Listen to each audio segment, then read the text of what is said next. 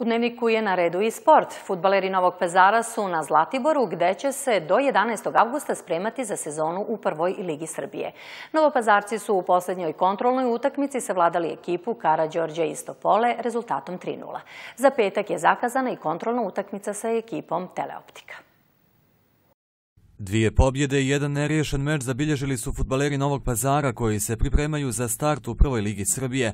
Prije ekipe Karadžorđa savladana je ekipa superligaša mladosti iz Lučana. Trener futbalera Novog pazara Marijan Živković rekao je da je zadovoljan odnosom igrača tokom prethodnih deset dana priprema, ali da ga do početka sezone u prvoj ligi Srbije očekuje još posla.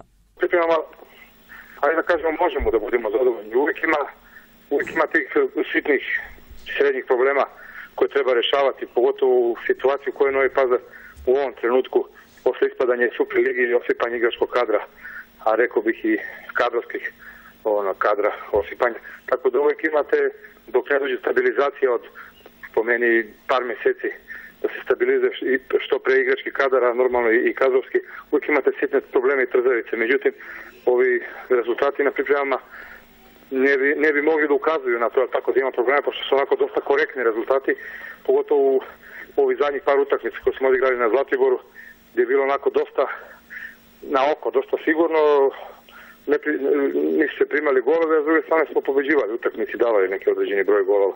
Tako da sam onako zadovoljan, ali normalno to može da zavara, jer prvenstvene utakmice borba za bodove mogu da, da odu skroz drugu krajnost, što mi ne bi normalno želeli, niko na ovom pazaru to ne bi želo, ali ovako ako se po YouTube dan poznaje što se ekipe tiče igračkog kadra i rezultata do sad na pripremama, mislim da će to biti jedna sasvim korektna sezona. E sad, za nešto više, e, treba nam i pomoći i ostalih struktura u gradu i u klubu i navijača i svi da bi to bila jedna stvarno dobra sezona. Sezona u prvoj ligi Srbije startovaće 19. avgusta.